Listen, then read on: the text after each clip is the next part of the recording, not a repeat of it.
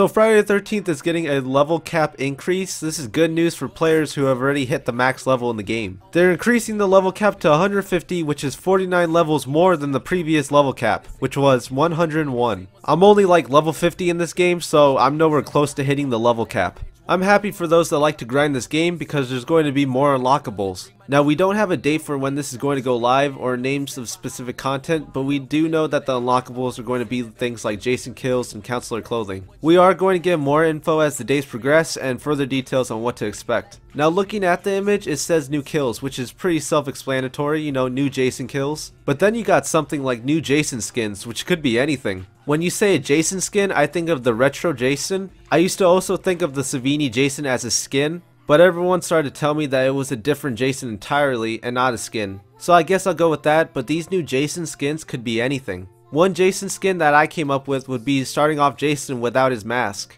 I thought it would be kinda cool because I don't get to see Jason without his mask that much, but maybe that's just me.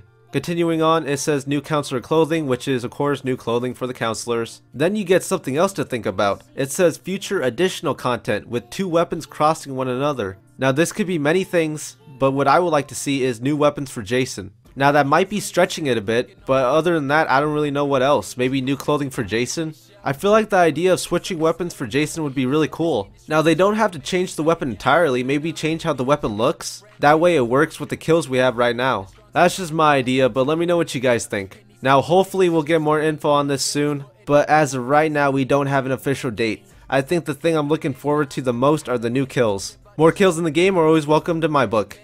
And also female counselors.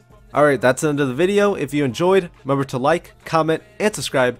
And I'll see you in the next one.